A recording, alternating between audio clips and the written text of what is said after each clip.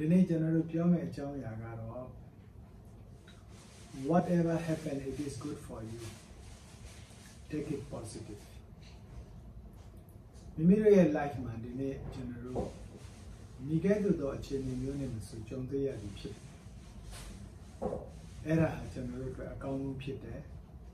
အဲ့ဒါကိုကျွန်တော်တို့အနေနဲ့ positively ယူပြီးတော့အဲ့ဒါကိုကျွန်တော်တို့လက်ခံဖို့အရေးကြီးတယ် အဲ့တော့ဒီဟာနဲ့ပတ်သက်ပြီးတော့သဘောတရားတစ်ခုကိုပြောရရင်လက်ရှိမိမိရဲ့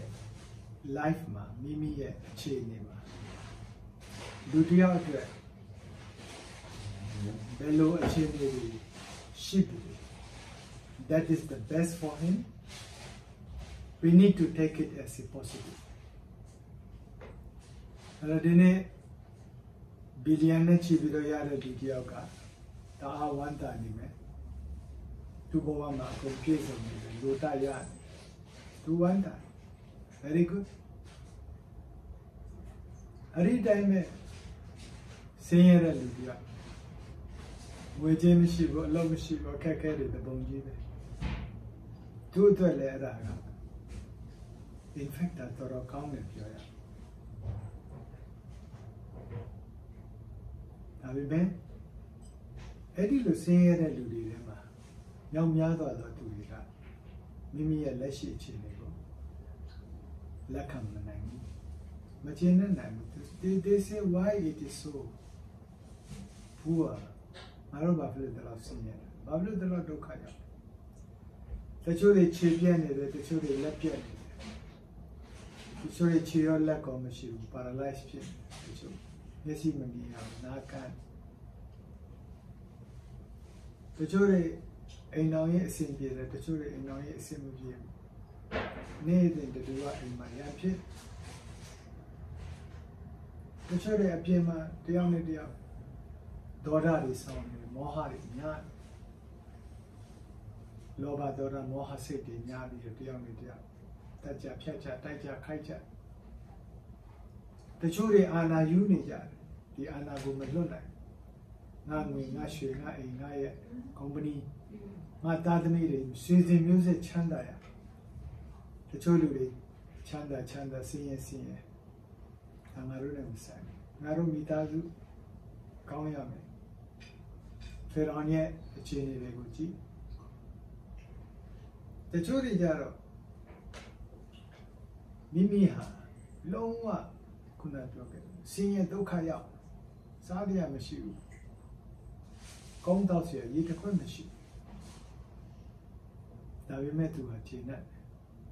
so if you look at all these scenarios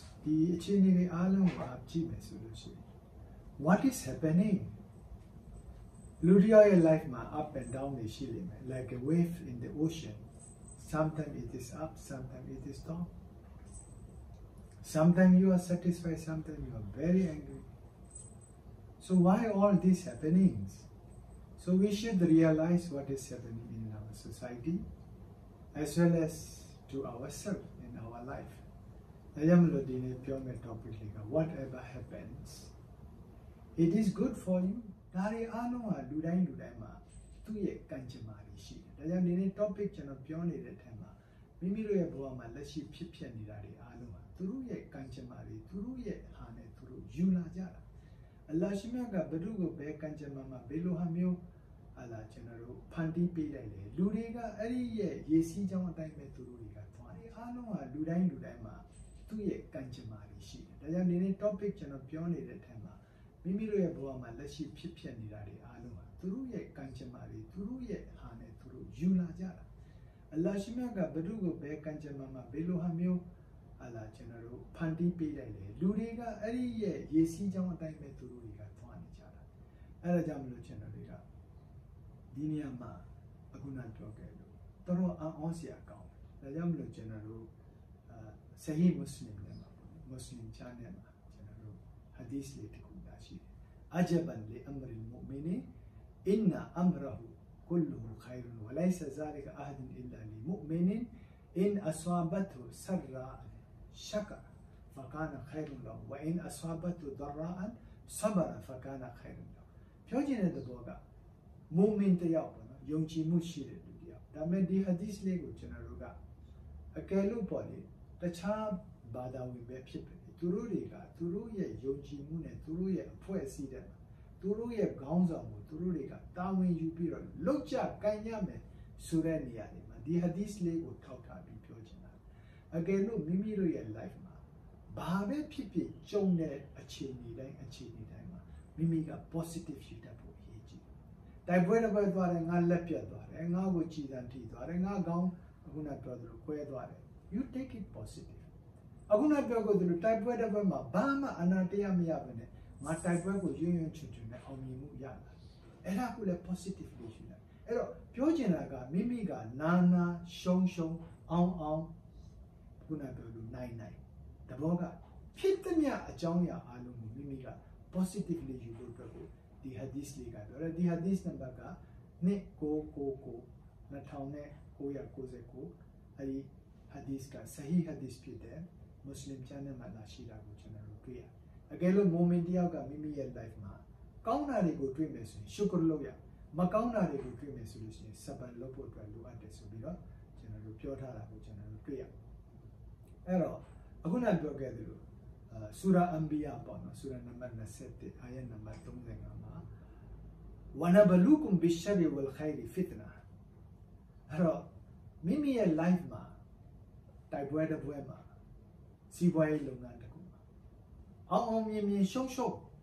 doesn't matter ဒါတွေဟာနင့်ကိုအလ္လာဟ်ကနေနေပြီးတော့ test တစ်ခုအနေနဲ့ဒါတွေနင့်ကိုကြည့်နေ how you are going to respond နင့်ကိုအရှုံးပေးလိုက်ပြီနင့်ကိုအနိုင်ပေးလိုက်ပြီနင့်ကိုဒဏ်ရာရသွားတယ်နင့်ကိုအောင်မြင်မှုပေးလိုက်တယ် how are you going to respond god wanted to see that one ဆိုတော့အဲ့ဒီအပေါ်မှာကျွန်တော်တို့ကကြည့်ရမယ်အဆုံးမှာတော့နေဟာ god ရှိကိုပြန်သွားရမှာပဲဟိုဝဝအီလိုင်နာတူဂျာအုန်အဲ့ဒီအာယတ်မှာနောက်ဆုံးမှာတော့ငါတို့အားလုံးကအလ္လာဟ်ဘက်ကငါတို့ကလှည့်ပြီးတော့သွားရမှာပဲဖြစ်တယ်ဆိုပြီးတော့ပြောတာပေါ့နော်အဲ့တော့ပြန်ကြည့်မယ်ဆိုဒါကတော့တိုက်ပွဲပေါ့ဗျာ ဒါပေမဲ့ဒီနေ့တိုက်ပွဲဖြစ်တယ်တိုက်ပွဲဖြစ်တဲ့အခါမှာကျွန်တော်အဖေသေးရင်လည်းသိမယ်ကျွန်တော်သားသေးရင်လည်းသိမယ်ကျွန်တော်တငယ်ချင်းသိရင်လည်းသိအဲ့တော့တမန်တော်မြတ်ရဲ့ live မှာကြည့်တဲ့အခါကျတော့တမန်တော်မြတ်ရဲ့ live မှာ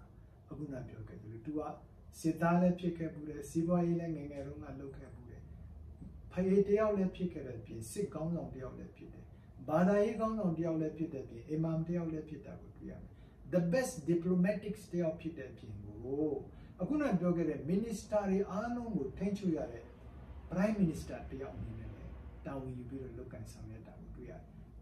အခုနပြောတဲ့ပညာရေးဝန်ကြီးနဲ့ပတ်သက်ပြီးပြောရမယ်ပညာရေးမှာလည်းထိတ်ခေါင်ဖြစ်တာကိုကျွန်တော်တို့တွေ့ရတယ်လူမှုရေးမှာလည်းထိတ်ခေါင်တွေ့တာကိုကျွန်တော်တို့တွေ့ရတယ်အဲ့တော့ ministry တွေအားလုံးကို advice လုပ်နေတဲ့သူဖြစ်တဲ့ပြီ family မှာလည်းတကယ်ကောင်းတဲ့အဖေတယောက်ဖြစ်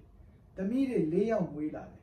အကုန်လုံးကအသက်ရှင်တယ်သား၃ယောက်မွေးတယ် အဲ့ဒီသား၃ယောက်မှာတယောက်က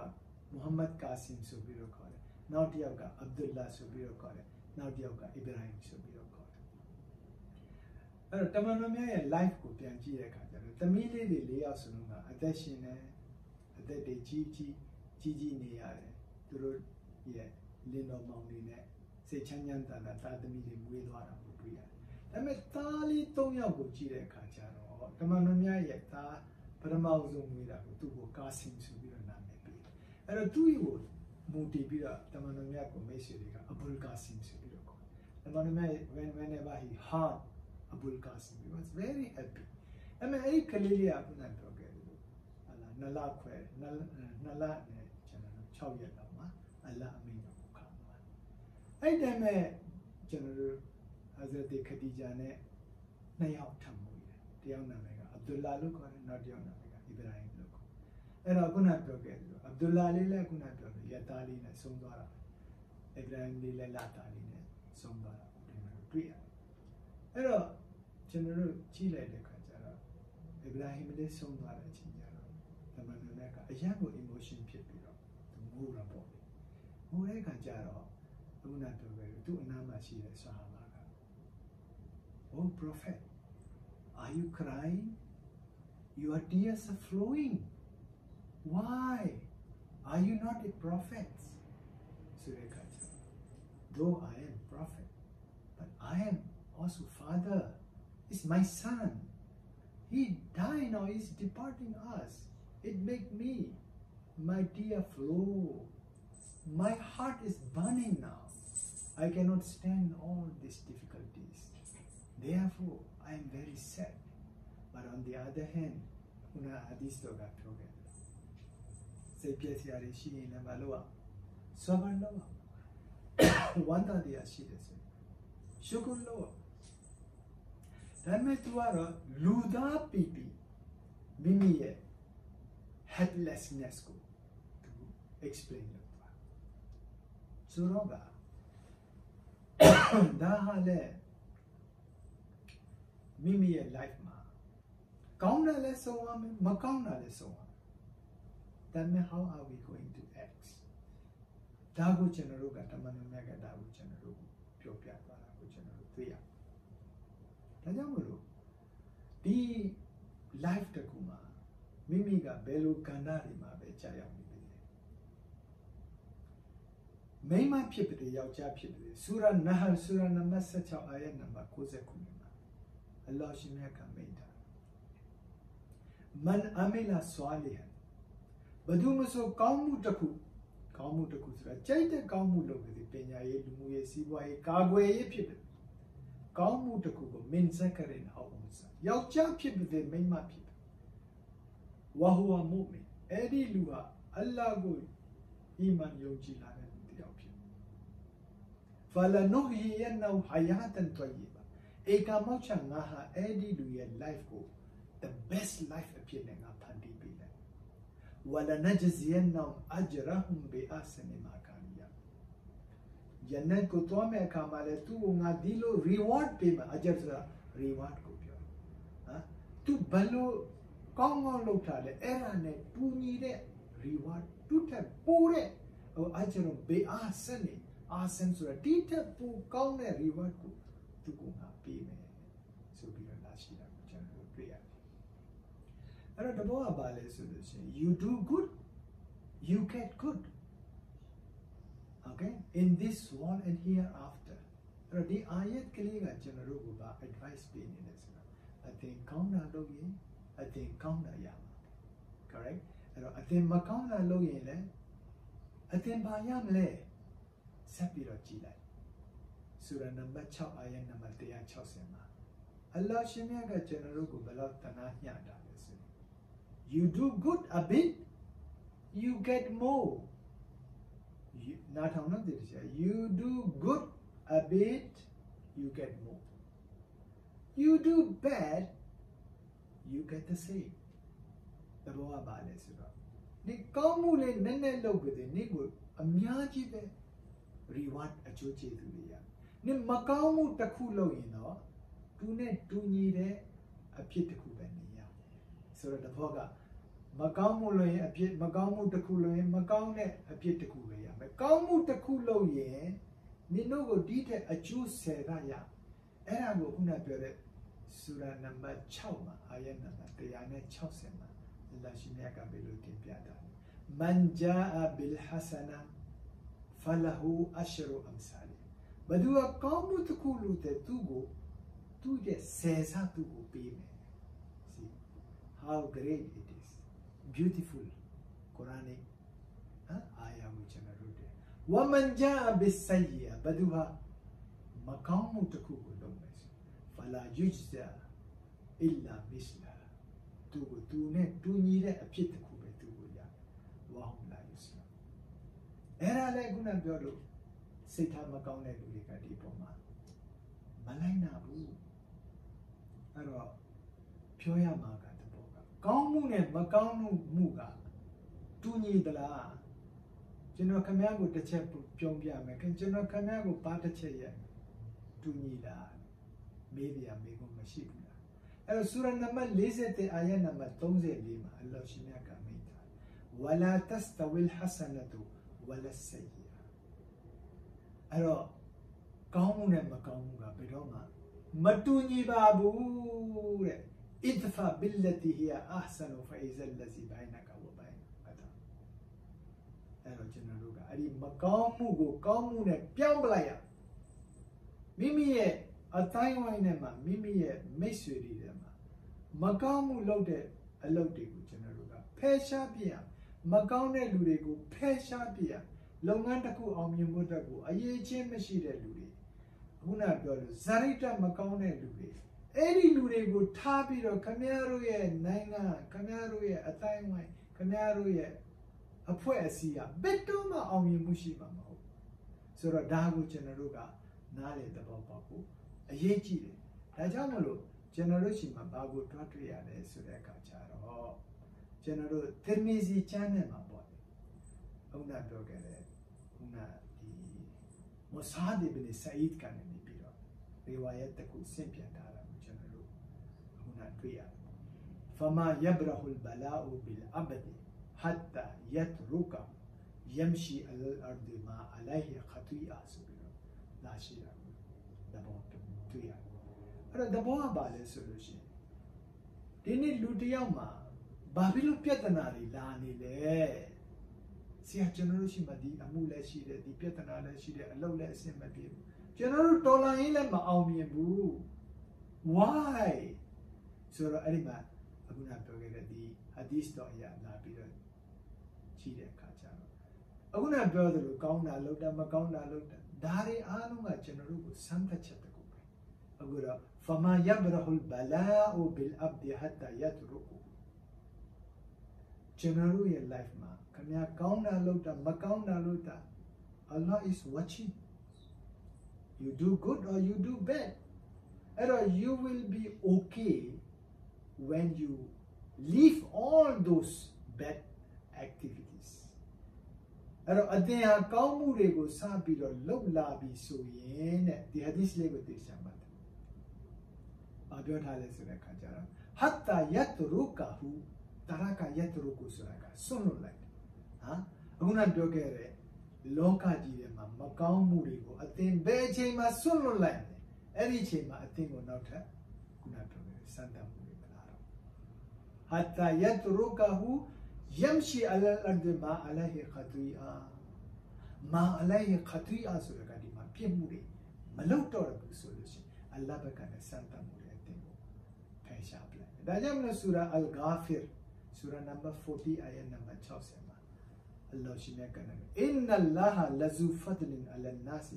ဝလာကင်နအက္ဆရန်နာစီလာယရှ်ကူရ်အလ္လာဟ်ရှင်မြတ်ကလူတွေကိုဘယ်လောက်ဖေဗာပေးတယ်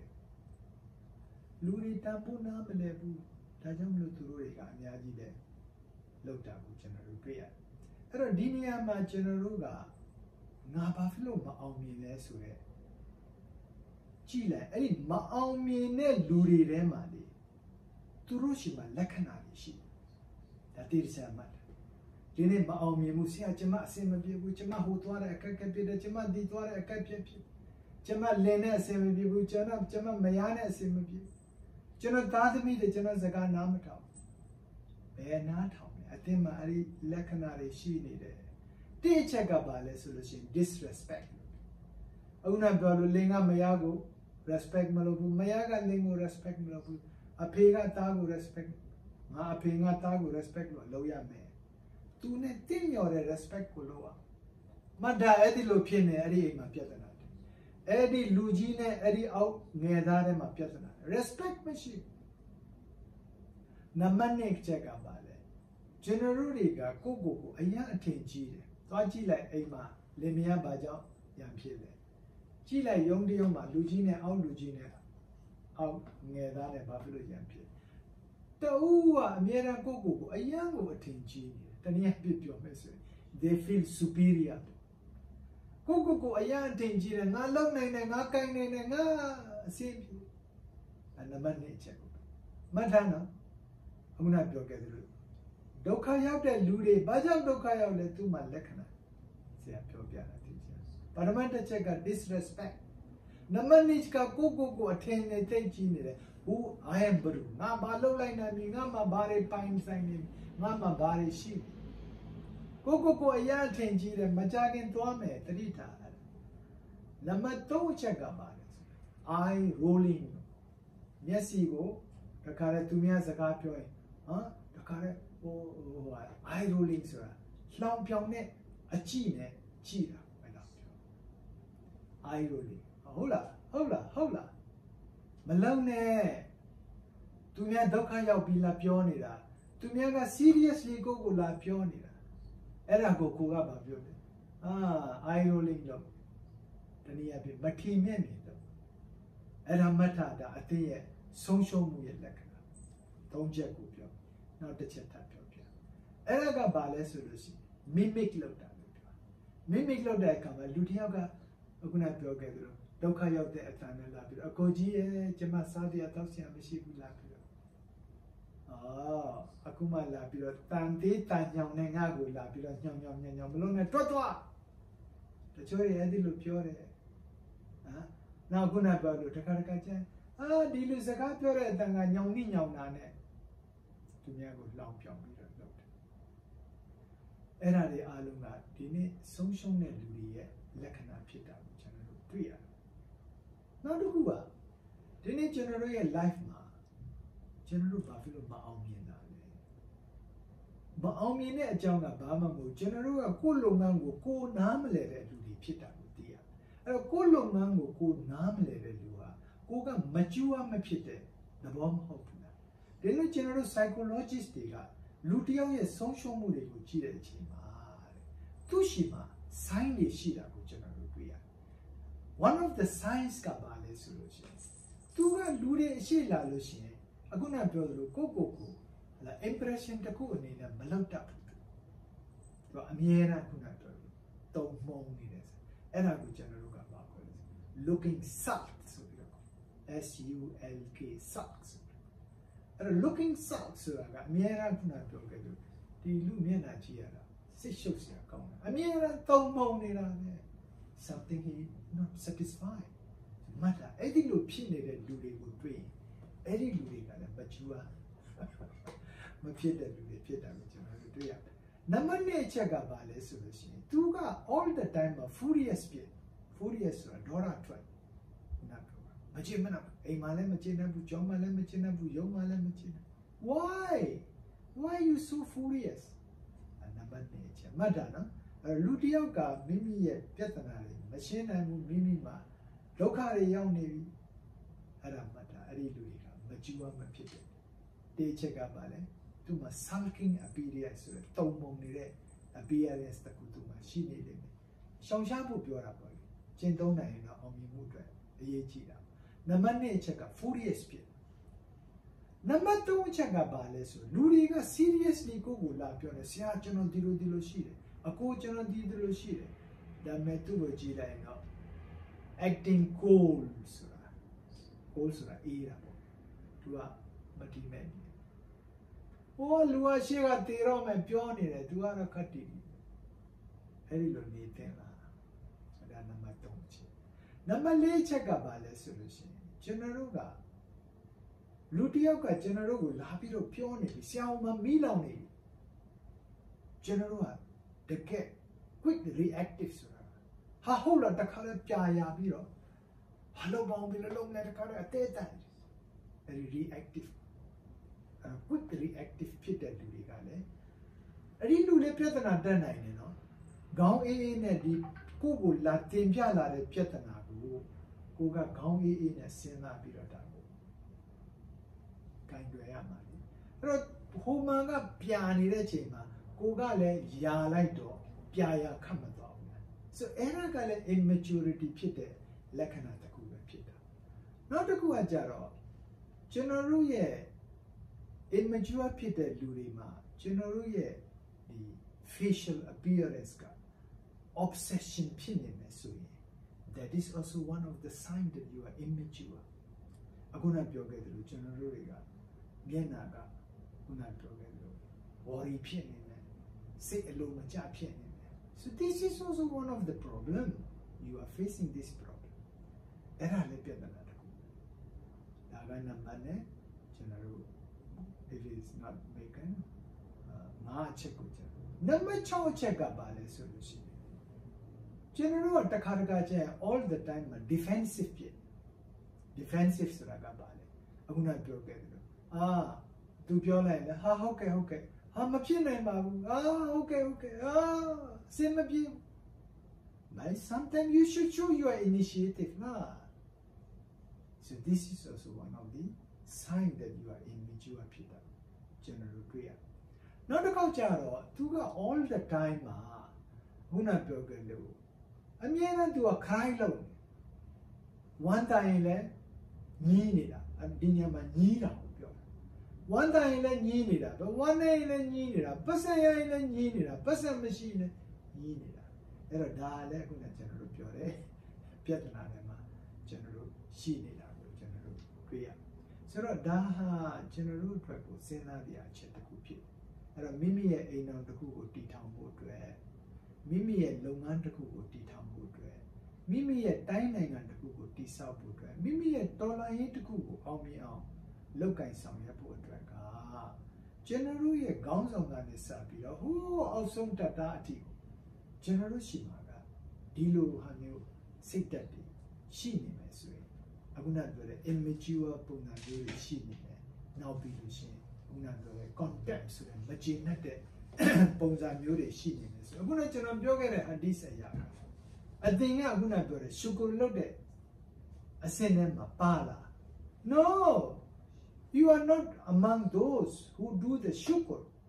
you are always complaining that one အဲ့တော့အဲ့ဒီအတွက်ကြောင့်မလို့ကျွန်တော်တို့မှာအဲ့တော့အောင်မြင်မှုမရှိတာကိုကျွန်တော်တို့တွေ့ရတာပေါ့အဲ့တော့အဲ့ဒီအတွက်ကိုကျွန်တော်တို့ကဒီကျွန်တော်တို့ရှိမှာ မကျွမ်းဖြစ်တဲ့ဆိုင်းကဘာလဲရှုကုဖြစ်တဲ့ဆိုင်းကဘာလဲဆိုတဲ့အခါကျတော့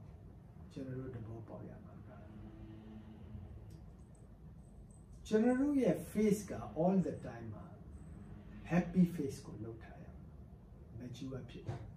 မကောင်းတဲ့ဒရင်မဲ့ကြာကြာကောင်းတဲ့ဒရင်မဲ့ကြာကြာကိုကမကျူးဖြစ်တယ်ဆိုတဲ့လူကကိုကိုကိုတည်တည်ငြိမ်ငြိမ်နဲ့နံပါတ်1ထားနိုင်တဲ့ လူဖြစ်ဖို့အတွက်ကိုကျွန်တော်တို့ကအရေးကြီးနံပါတ်2အချက်ကကိုဒီနေမကောင်းနေပါစေ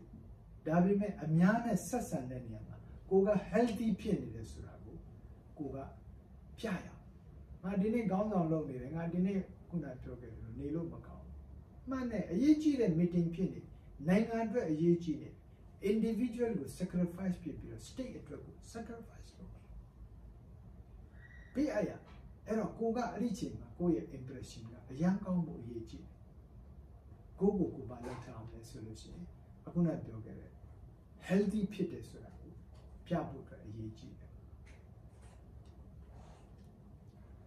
နောက်တစ်ခုကအဲ့ဒီကိုမှ mature ဖြစ်တဲ့ sign တစ်ခုကဘာလဲဆိုလို့ရှိရင်ကိုမှဥပမာအဖြစ်ကိုဒီခေါင်းဆောင်တယောက်ဖြစ်တယ်အခြားခေါင်းဆောင်တယောက်နဲ့ ကိုကပြောမယ်ဆိုမယ်ဆိုရင်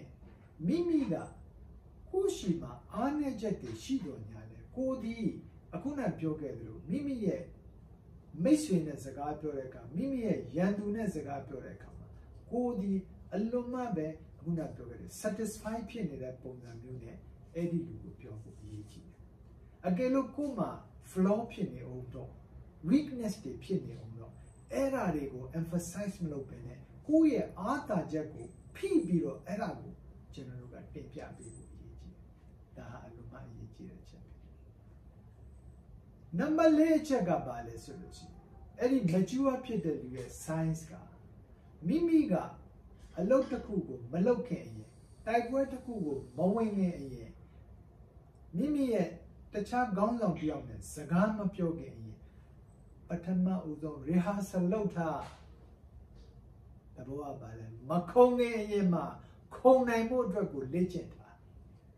မပြောခင်အရင်မှာပြောရမယ် facts တွေကိုစုဆောင်းထားမသိငယ်အရင်မှာသင်ရမယ့်အကြောင်းကိုကြိုတင်ပြီးတော့အိမ်ကနေပြင်ဆင်သွားဒါမှကျောင်းထဲမှာစာသင်တော်တဲ့ဆရာမ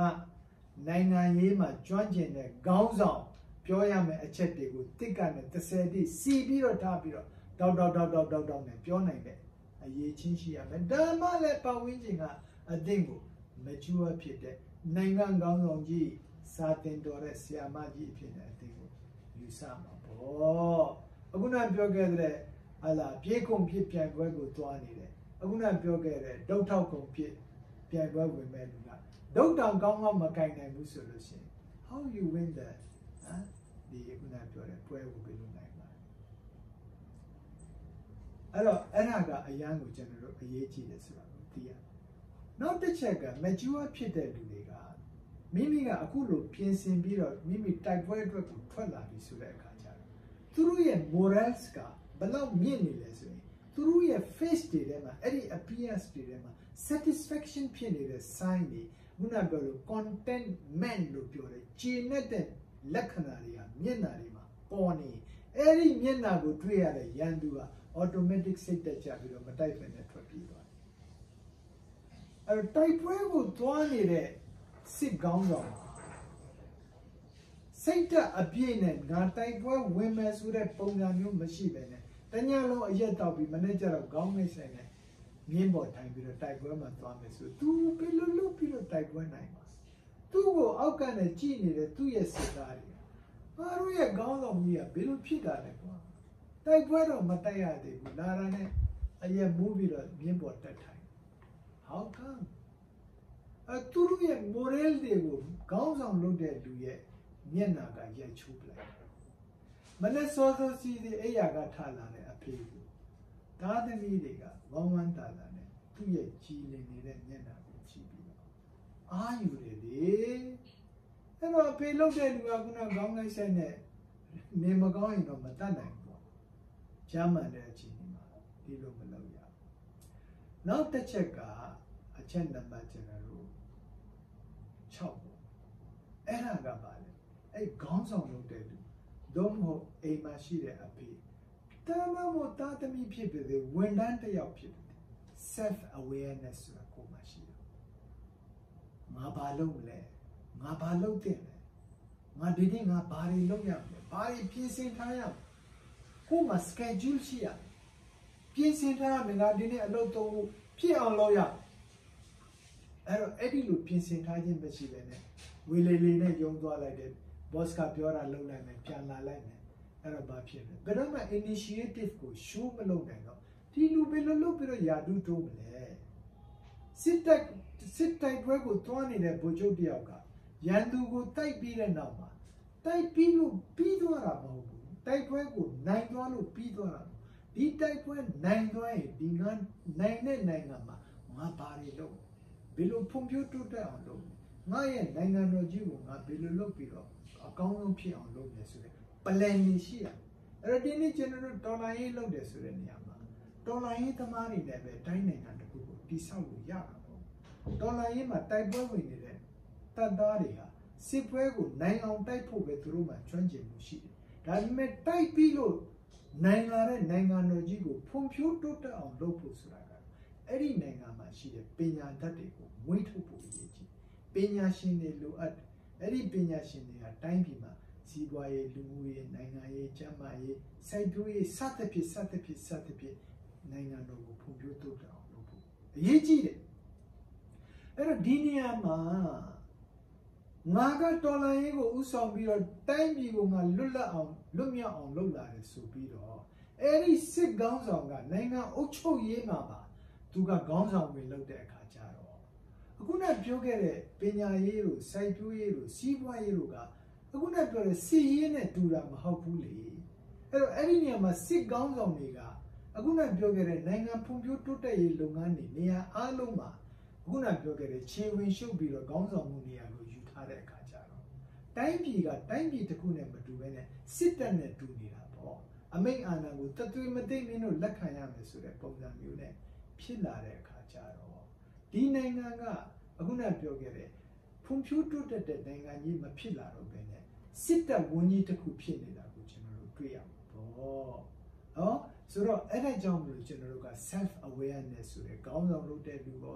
ပညာရှင်တွေကအ ဖေတွေကအမေတွေကသားသမီးတွေကအားလုံးအားလုံးကကိုယ့်ရဲ့ awareness ရှိဖို့အရေးကြီးတာကိုကျွန်တော်တို့တွေ့ရတယ်အခုနပြောတဲ့နောက်တစ်ချက်ကပါလဲဆိုလို့ရှိရင်ကျွန်တော်တို့ဒီနေ့ဖြစ်နေတဲ့ပြဿနာအားလုံးရဲ့အခြေခံကဒီ emotionally ကျွန်တော်တို့ mature မဖြစ်တဲ့အချက်ကပါတယ်ကျွန်တော်တို့တွေကပြဿနာတွေရဲ့အခြေအနေအရရက်ကိုနားမလည်တဲ့လူတွေဖြစ်တယ်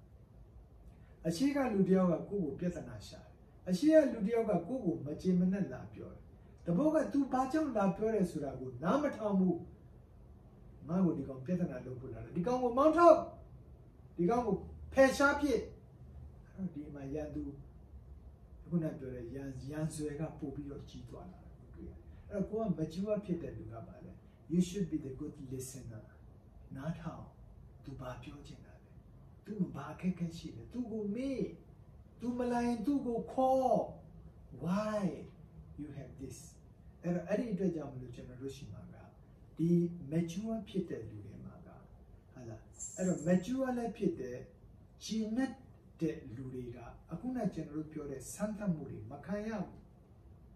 အဲ့တော့အဲ့ဒီလူတွေမှာပြဿနာတစ်ခုကို explain လုပ်နိုင်တဲ့ဒီနေရာမှာအချက်၃ချက်ကိုဆရာရှင်းပြ explain လုပ်နိုင်တဲ့ capacity ရှိရ ငါ့ကိုဒီနေ့ဖြစ်လာတယ်ဒါဘာကြောင့်ဖြစ်လဲငါဒါဘာပြန်လုပ်ပေးတဲ့ explain လုပ်နိုင်တဲ့ capacity တူမှရှိရအဲ့တော့ he is very good in communication ဖြစ်ရ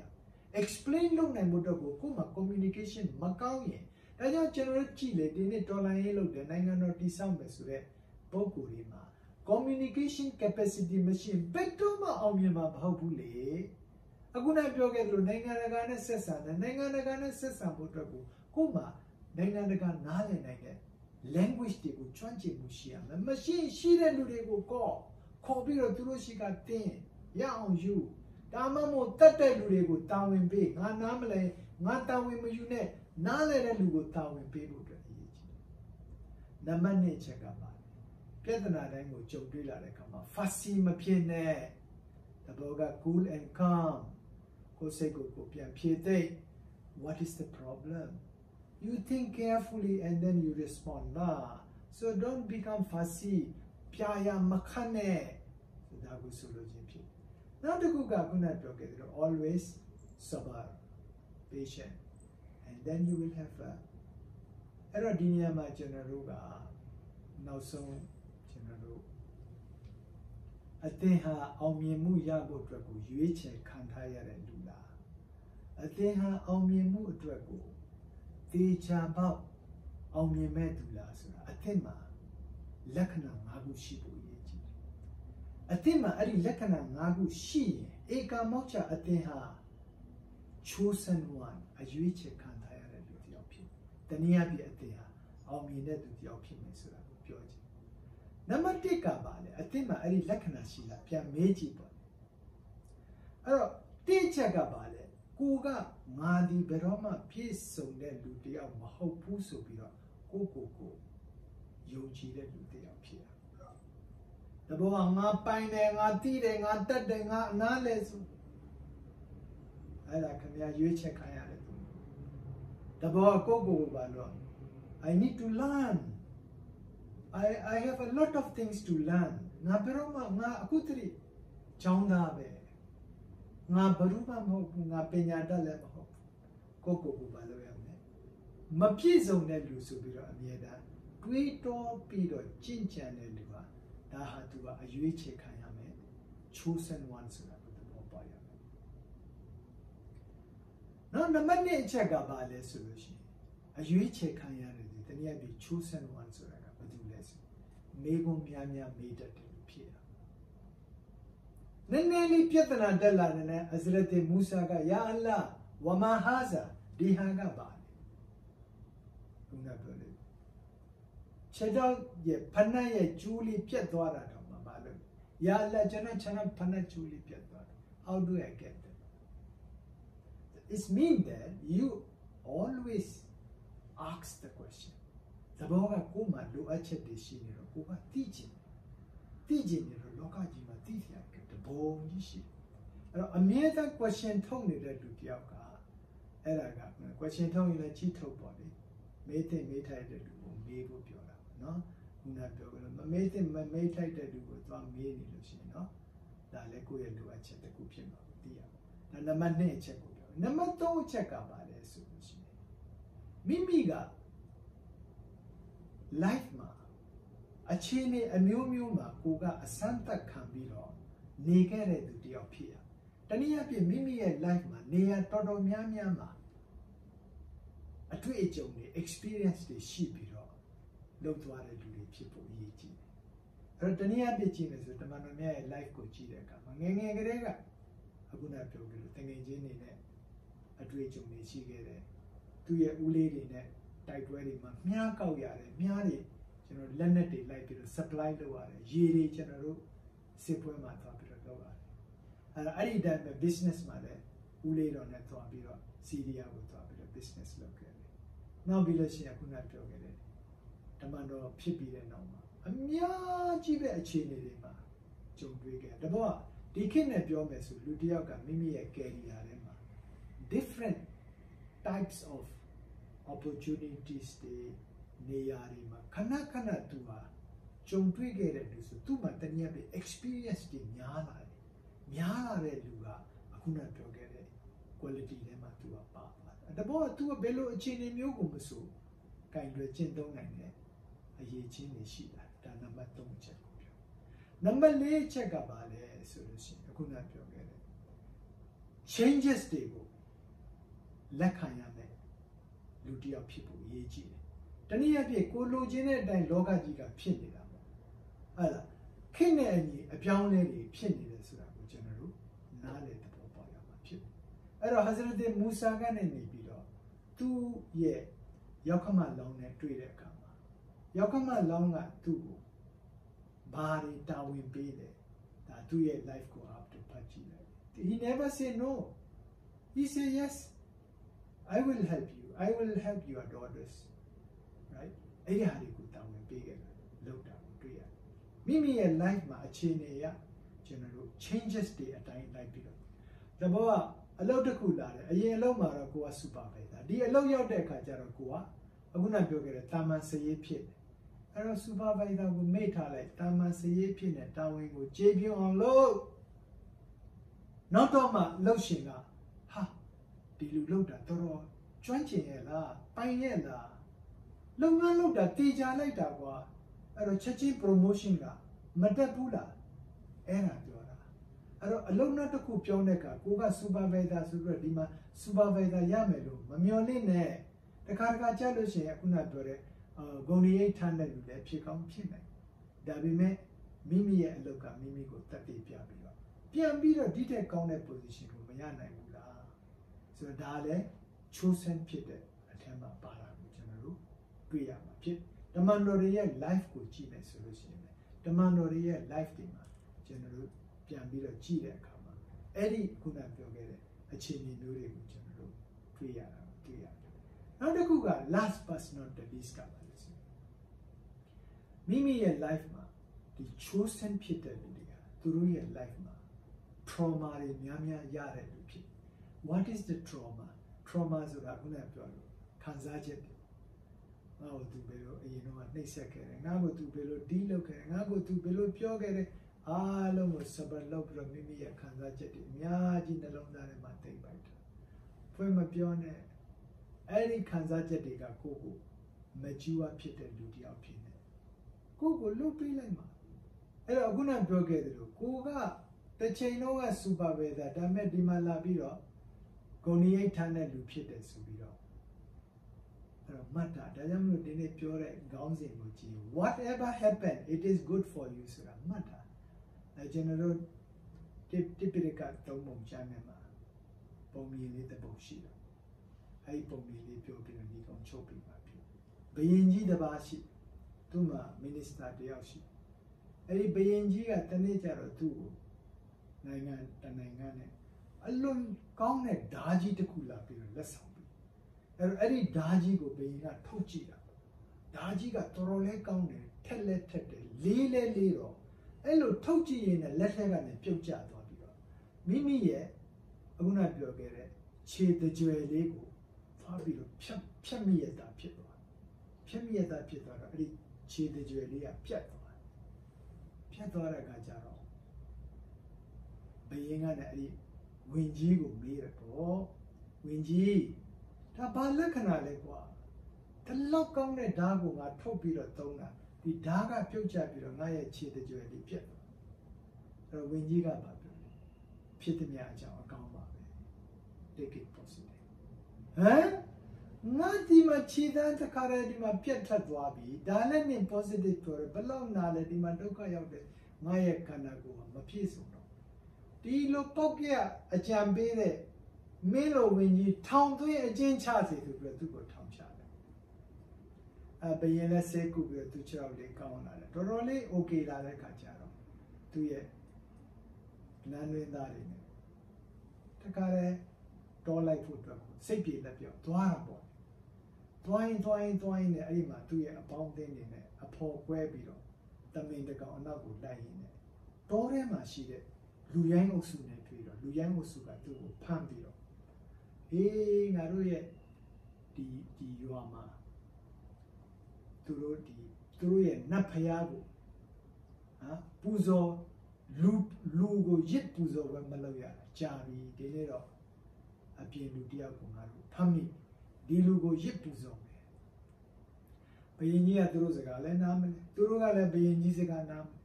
တော့ဘယင်ကြီးကတခါတည်းတိုးရှူတောင်းမှငါဘယင်မင်းတို့ငါ့ကိုလွတ်လိုက်မင်းတို့ငါအများကြီးပဲအကျိုးကျေးဇူးပြုဟိုလူတွေကရည်တာဘ ယ်လိုနည်းနဲ့မဆိုသူတို့အတွက်အကောင်းဆုံးသောအလုပ်ကဒီလူကိုရစ်ပူတာအာတခါတည်းဘယင်ကိုဖမ်းပြီးတော့တခါတည်းအလဲမှာကျိုးစင်နဲ့တခါတည်းချိတ်ပြီးတော့ဒါလည်းဘေးမှာမီးတွေဝိုင်းရံပြီးတော့တခါတည်းသူတို့ဝိုင်းပြီးတော့ကပြောရမ်းပြောအဲ့မှာသူတို့ရဲ့ဂရုဆိုသူတို့ဆရာကြီးရောက်ဆရာကြီးရောက်လာတဲ့အခါကျတော့ဆရာကြီးကကြည့်ပြီးတဲ့အခါကျအာဒီလူတော်တော်ချောတဲ့လူဘယင်ဆိုတော့လည်းသိတဲ့အတိုင်းပဲချောတာပေါ့နော် တမ္မာတဲ့လူပဲအာဘယင်ဆိုတော့လည်းသိတဲ့အတိုင်းတော်တော်အင်အားရှိတဲ့လူပဲငါတို့နတ်ဖရားကတော့ဒီလူကိုသိကြပေါ့ကြိုက်ပြီတခါကျတော့ကဲငါတို့နောက်ဆုံးသူ့ကိုအကုန်စစ်မယ်ဆိုပြီးတော့တခါတည်းကောင်းကနဲ့ခြေထောက်တွေကြည့်လိုက်တဲ့ခါကျဟာဒီလူမှာအခုနပြောတဲ့ခြေတကြွယ်တစ်ခုကတော့ပြက်နေအာငါတို့နတ်ဖျားကကြိုက်မှာဘလောက်ပဲဒီလူချမ်းညမ်းမမတော်ပဲတော်တော် ဒီလူခြေတကြွယ်ပြက်နေဒီလူကငါတို့ရေပူတော့ပဲလို့လို့မြာဒီလူကမင်းတို့ပြစ်ပလိုက်ကရမောင်းထုတ်ပလိုက်အဘယင်ကအဲ့ဒီနဲ့ဘယ်လိုဘယ်လိုလုပ်ပြီးတော့နန်းနန်းတော်တွေပြန်ရောက်နန်းတော်တွေရောက်လာတဲ့ခါကျတော့ဘယင်ကစဉ်းစားတော့ဟိုးငါရဲ့ဝီကြီးပြောခဲ့တာမှန်သားပဲကွာအကယ်လို့ငါရဲ့ဒီခြေတော့ကမပြတ်ခဲ့ဧကမောက်ချငါကိုဒီလူတွေရစ်ပူဇော်ပလိုက်ပါဟုတ် correct အဲ့တော့ဒီဝင်းကြီးကိုငါပြန်ပြီးတော့စုချရမယ်သူ့ကိုနန်းတော်တွေကခေါ်ခဲ့ဂျေးတွေကနေဟုတ်လား prison တွေကနေခေါ်ခဲ့ဆိုပြီးခေါ်လာခေါ်လာတဲ့အခါကျတော့ဒီဝင်ကြီးကသူကတော့ပုံမှန်တိုင်းပေါ့လေခုနက mature ဖြစ်တယ်လူဆိုတော့ mature ဖြစ်တဲ့လက္ခဏာသူကတော့အာပြုံးလည်းမပြုံးဘူးပျော်လည်းမပျော်ဘူးသူပုံမှန်ပဲသူဘယင်ရှိမှကြည့် ဘယင်ကပြောတယ်ဝင်ကြီးတဲ့နင်ပြောတဲ့စကားတအားမှန်တာနင်ပြောတယ်ငါခြေထောက်လေးပြတ်သွားတယ်ဒါလည်းကောင်းတာပဲပြောအေးအဲ့ဒါအမှန်ပဲဒီခြေထောက်တာမပြိုင်တော့သူတို့တပ်လိုက်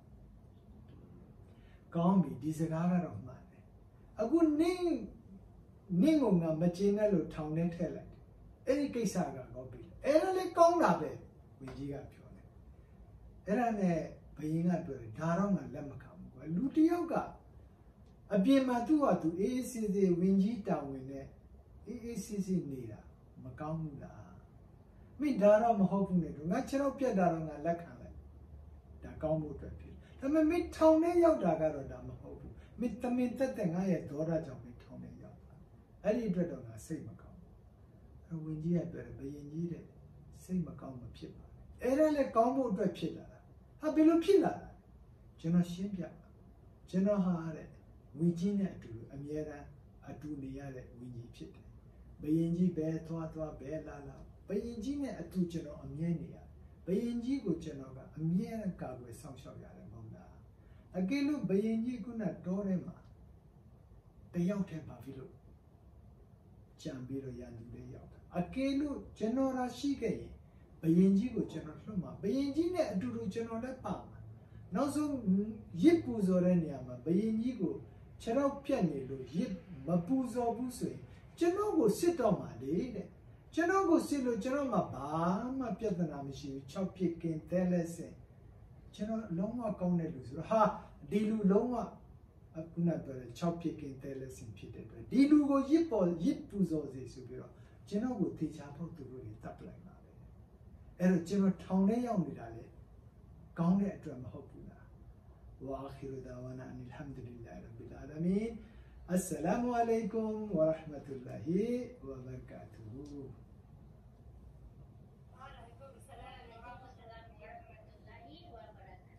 ما شاء الله ما شاء الله ما شاء الله. وعليكم السلام.